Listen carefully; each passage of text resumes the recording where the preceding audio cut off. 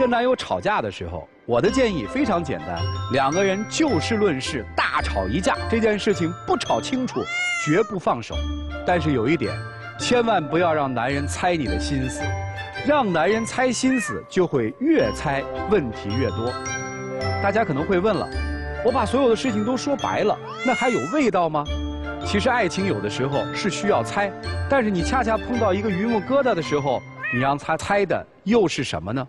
现在让我们来看看这对未婚的小情侣，他们怎么选择。来，请开门。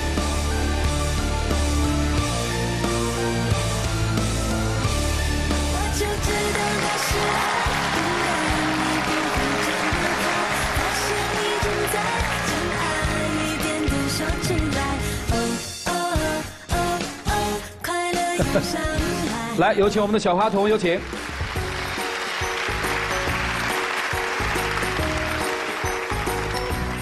来，一起见证他们的浪漫时刻。各位，请见证。有谁能把你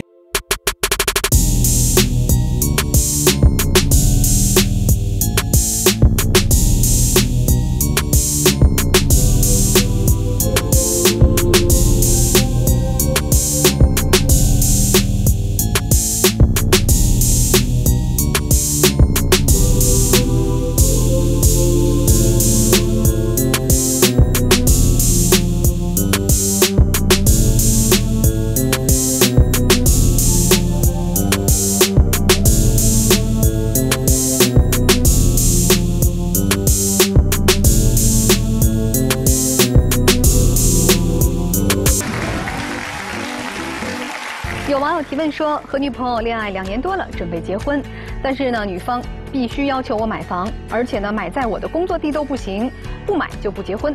我家里目前的经济条件根本没办法买房，但是女友要我七八月就把房买好，再去跟她爸妈说结婚的事情，我真的不知道该怎么办了。到底女朋友是爱房还是爱你？这个一定是困扰你的问题。但在我看来，不是买房出了问题，而是你们感情出了问题。